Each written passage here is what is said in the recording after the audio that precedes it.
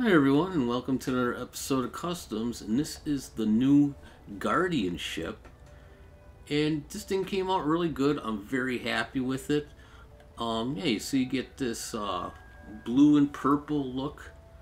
And on the back I I'm not sure if these things swiveled or not but um I try to make them look like they do move with uh, the jets on the back. So I'll show you that in a little bit but we got our cockpit with uh, four seats and our controls in there.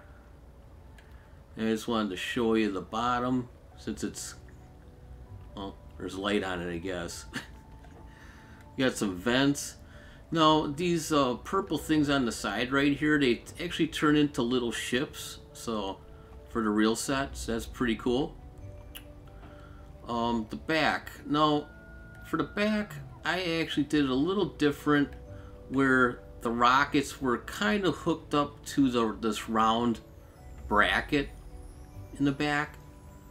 But since I had the room, I'm like, let's just put them right on the blue.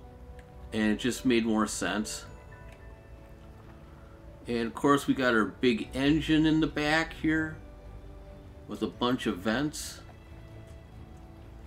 and I tried to get a as much curve out of this circle as I could. And uh, yeah, it, it worked, you know? So I'm very happy with it. Um, you get a top view, side view.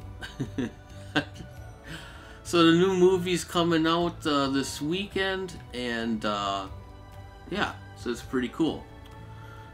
So that is the new Guardians ship uh, for Guardians of the Galaxy Volume 3 now.